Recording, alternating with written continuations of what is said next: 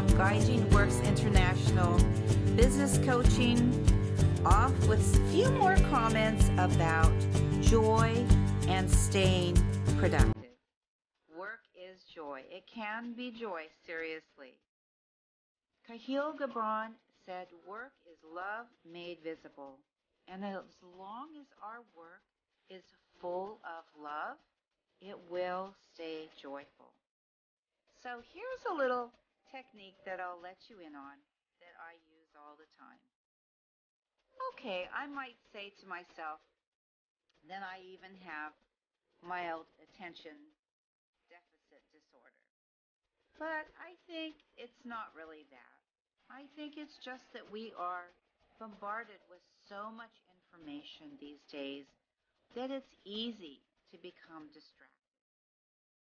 So, here's a way to use that in your favor. This is what I do.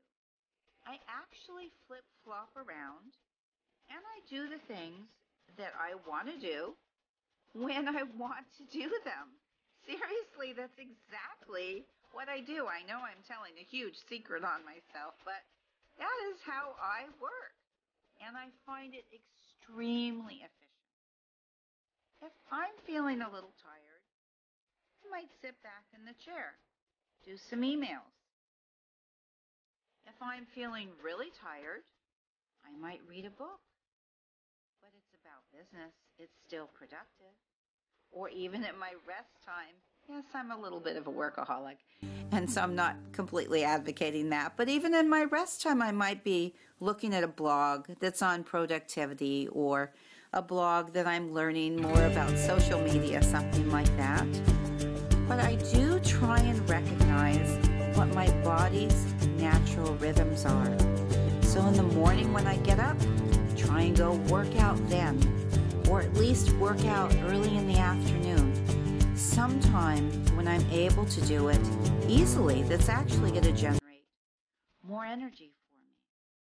Also in the morning, I really find that that's my clear thinking time. Get up, ahead and meditate, and that helps clear my mind even more. After I meditate, I find that the thoughts just start to come in. And that's really valuable time if you listen to Eben Pagan, if you listen to some of his time management series and other great organizational people in our field, you will find that they give themselves the time to think.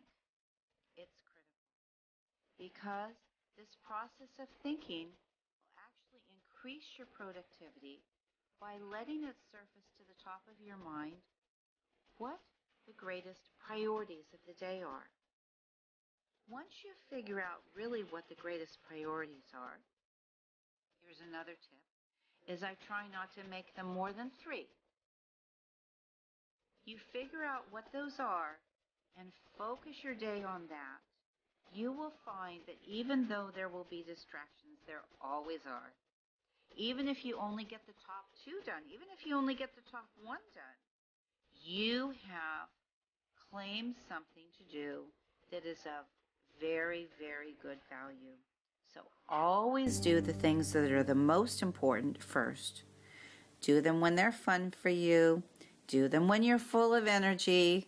And do them when you feel like doing them. Let's keep work joy. Ciao for now.